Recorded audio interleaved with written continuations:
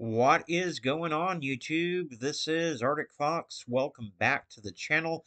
Today, we are covering the missing persons case of 34 year old Gerald Wyena, who is missing out of Toppenish, Washington. He had been staying with his mother off and on. When she last heard from him, he was in Toppenish, but said that he would see her later. He was reported to the National Tribal Police as missing on the 26th of April 2022. Gerald is a father of four and 34 years old.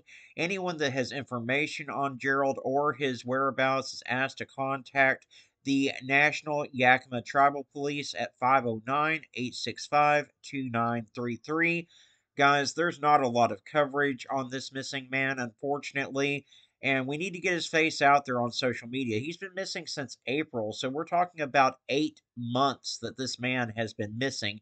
He's a father, he's a son, he's got a family out there that is worried sick about him and is very concerned for his safety and his well being.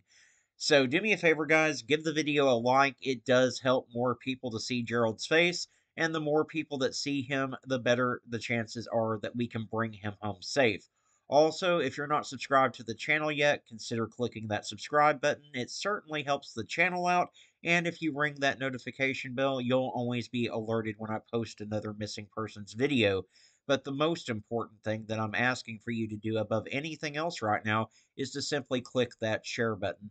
Share this to your Facebook, your Twitter, your Instagram, wherever you have social media, guys. It only takes one second of your time to do, and it can make all the difference in the world in whether we're able to find Gerald and bring him home safe or not.